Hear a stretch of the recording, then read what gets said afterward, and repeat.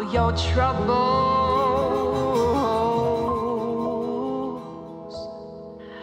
and pour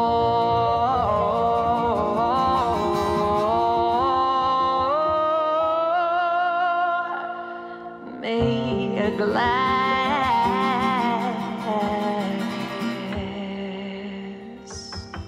mm,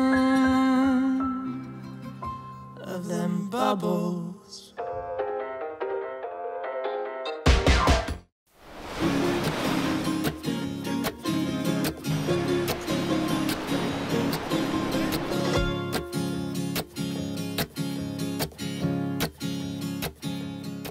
My version is Jill met Kevin on holidays while abroad in Cyprus in 2014.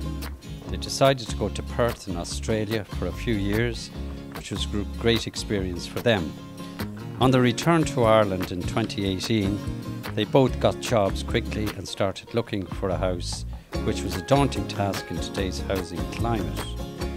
But lucky for them, they were able to purchase their house in 2021 just outside Drogheda.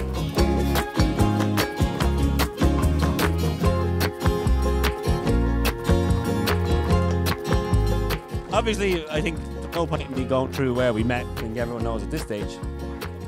But funny enough, we, we did meet in a pub. And I was told by one of my friends, so for every, you know, three or four drinks that Jill has, just write one down on a tab. Just, so I'm glad I did that now because I don't think we'd be here if I didn't. It gives me, truly, the greatest of pleasures to announce that you are now husband and wife.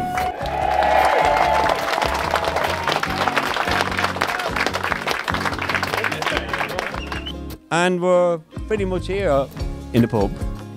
So I think the next step is to, to get a pub.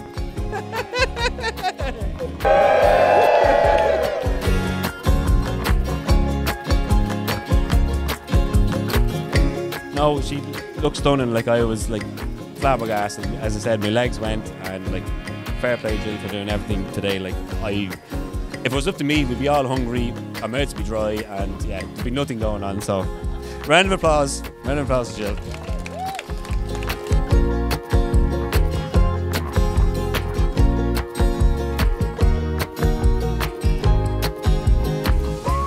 Bill, he's your problem now.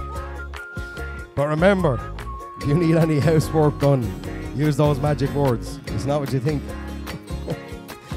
Just turn around to him and say, Here, Kev, I bet you wouldn't. And off he goes. Whoosh, it's done.